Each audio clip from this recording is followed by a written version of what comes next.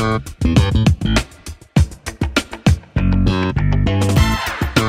you.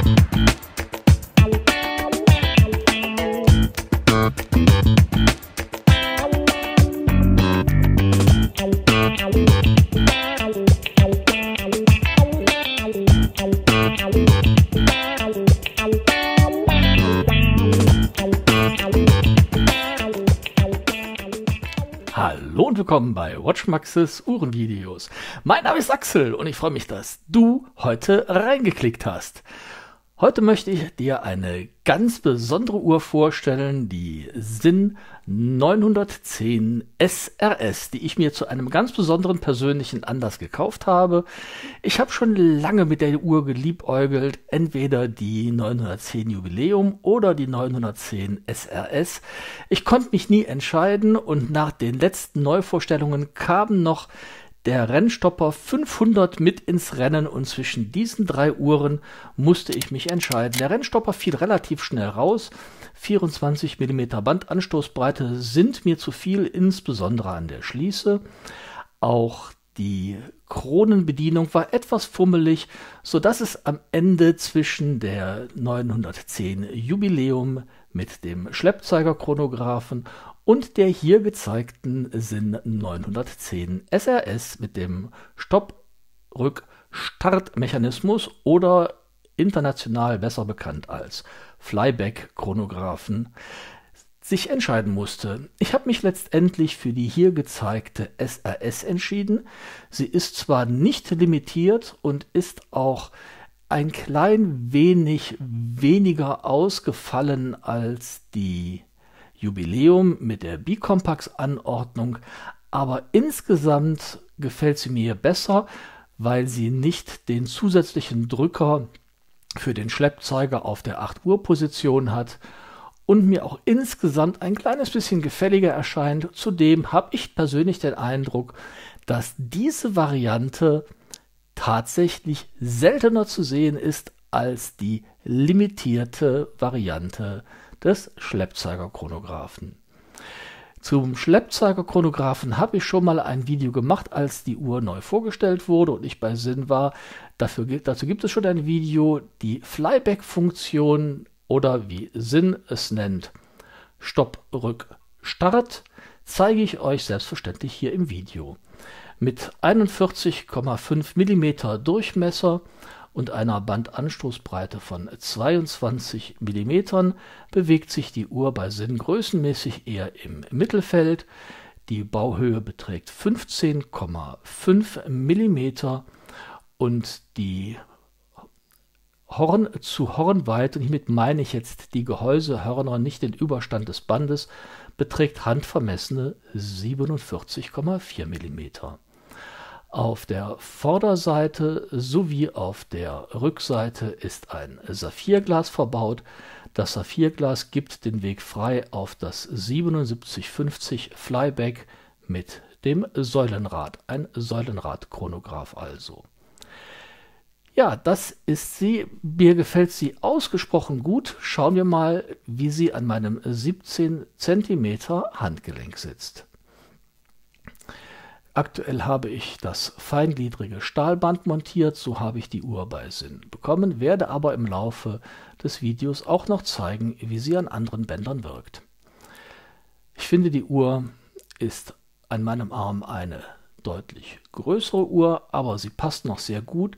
Das Erscheinungsbild schafft meiner Meinung nach einen sehr guten Spagat zwischen einer sportlichen Uhr, die sich aber auch für feinere Anlässe sehr gut tragen lässt.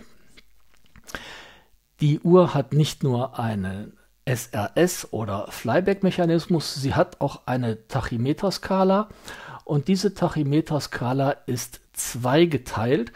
Üblicherweise ist die Tachymeterskala, mit der man die absolvierenden Einheiten pro Stunde, also Stundenkilometer oder Durchgänge pro Stunde stoppen kann, limitiert auf eine Stoppzeit von einer Minute, was dann 60 Vorgängen pro Stunde entspricht. Die SRS hat eine zweite Skala auf dem äußeren Ring, das heißt die innere Skala für die 60-Minuten-Messung ist grau und ist die innere Tachymeterskala. Für Vorgänge, die zwischen 60 und 120 Sekunden dauern, gibt es eine zweite Skala, die etwas weiter außen liegt und rot ist, sodass man auch Vorgänge messen kann, die in Stundenkilometer ausgedrückt zwischen 60 Stundenkilometer und 30 Stundenkilometer liegen. Damit man weiß, wo man sich genau befindet, ist die erste Stoppminute auf dem Stoppminuten-Totalisator rot gehalten, sodass man weiß, dass man bei der Stoppung eines bestimmten Vorgangs die äußere rote Skala verwenden muss. Richtig toll gemacht, gefällt mir gut. Hier seht ihr übrigens das schwarze Vintage-Lederband an der Uhr montiert, das sehr, sehr stark nach Leder riecht, aber sich nach einem Tag Eingewöhnung ausgesprochen interessant trägt. Das Werk ist in meinen Augen ein richtiger Hingucker, gefällt mir super gut und hier ist auch ein Glasboden aus meiner Sicht angebracht. Man sieht hier rechts im Bild das Säulenrad sehr schön. Die Drücker sind als Pilzkopfdrücker ausgeführt und die Krone nimmt diese Form auf durch den etwas freistehenden Tubus, wobei Tubus ist hier nicht der richtige Ausdruck. Die Uhr hat das D3-System, das heißt direkt doppelt dicht, keine Tuben in der Uhr, weder bei den Drückern noch bei der Krone. Alles dichtet direkt gegen das Gehäuse ab, sodass die Uhr auch ohne verschraubte Krone und ohne verschraubte Drücker eine Wasserdichtigkeit von 100 Meter hat. Mir gefällt sehr gut, wie die Uhr verarbeitet ist. Auf der Krone und auf den Drückern gibt es eine Art Sonnenschliff. Das Gehäuse ist außen mattiert, der Topring ist an der Seite poliert. Man hat also hier den Wechsel zwischen satiniert und poliert. Wohingegen der Topring auf der Oberseite wieder mattiert ist. Ein wunderschöner Wechsel unterschiedlichen Lichtspiels gefällt mir wirklich sehr, sehr gut. Die Uhr kostet am Stahlband 3.990 Euro und ist damit natürlich wirklich eine Uhr, die für Sinn schon äh, nach meiner Einschätzung, ich habe es nicht genau nachgerechnet, über dem Durchschnitt liegt. Der limitierte Schleppzeigerchronograph kostet mit 5500 Euro deutlich mehr und hier zeige ich euch einmal, wie Start-Stopp-Rück funktioniert. Aktuell läuft die Stoppzeitmessung mit einem Druck auf 2 Uhr wird gestoppt und auf 4 Uhr zurückgesetzt. So kennt man üblicherweise das Valjoux 7750.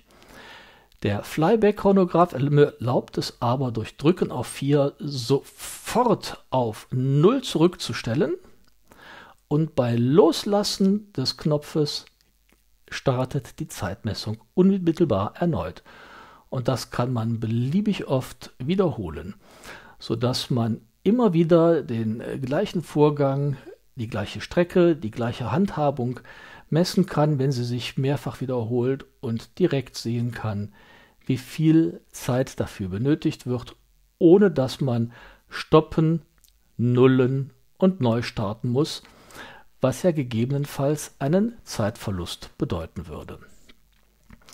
So, hier sehen wir noch einmal die beiden Tachymeterskalen. Innen auf der grauen Skala die Einheiten pro Stunde bei einer Stoppzeitmessung bis 60. Und wenn es dann über 60 hinausgeht, gibt es den kleinen roten Haken neben der 60 auf die äußere rote Skala und dann geht es weiter mit 59, 58, 57 Einheiten pro Minute bis hinunter zu entsprechenden 30 Einheiten pro Minute. Und die 1 auf der Skala der Minuten, des Minutentotalisators ist rot, um anzuzeigen, dass bei Überschreiten der 1-Minuten-Stoppzeit die äußere rote Skala zur Anwendung kommt, um die Einheiten pro Stunde abzulesen. Das ist etwas, was ich im Bedienungsheftchen nicht gefunden habe. Ich habe da bei Sinn angerufen und gefragt, warum ist die Minute rot?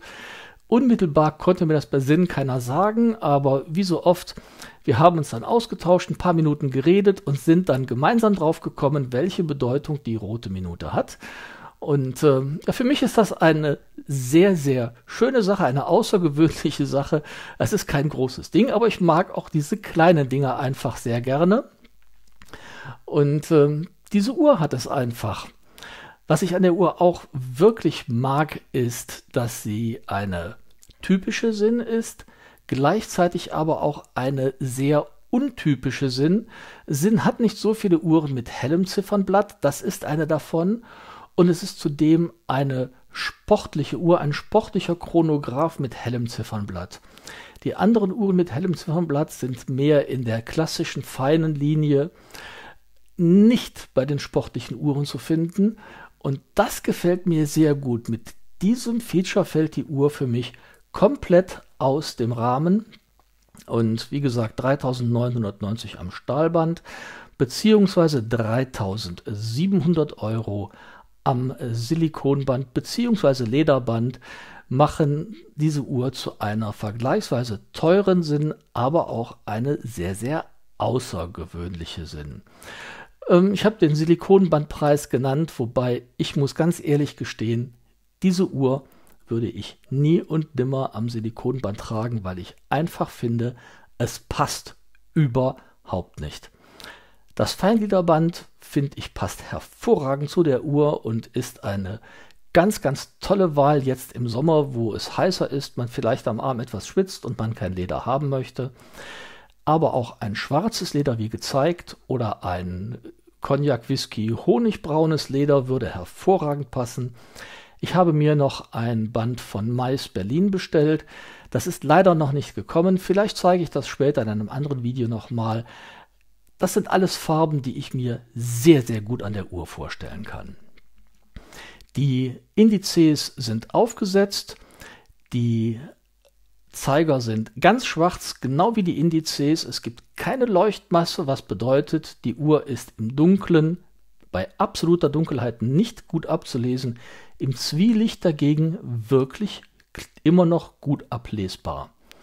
Was auch sehr schön ist, ist, dass die Totalisatoren versenkt sind und die Kanten eine polierte Phase haben, was je nach Lichteinfall immer wieder einen besonderen Effekt erzeugt und nicht einfach nur einen Plan aufgesetzten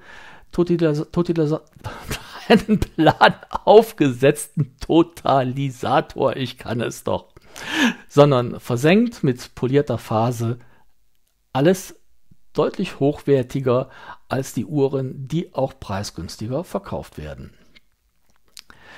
Ja, jetzt zeige ich euch nochmal, ähm, wie 1, 2, 3 andere Bänder aussehen. Das ist jetzt das Feingliederband, das schwarze Vintage-Lederband mit der roten Kontrastnaht hatte ich ja euch schon in einer anderen Einstellung gezeigt. Das macht die Uhr in meinen Augen sehr, sehr sportlich, passt klasse, aber das Band riecht sehr stark nach Leder und färbt auch leicht ab, habe ich heute gemerkt. Also das ist ähm, in, bei heißen Tagen vielleicht mit Vorsicht zu genießen. Das andere Band, was Sinn quasi standardmäßig anbietet mit der Uhr, ist das Pferdelederband in einem mittelbraun und das passt wirklich ganz hervorragend zu der Uhr.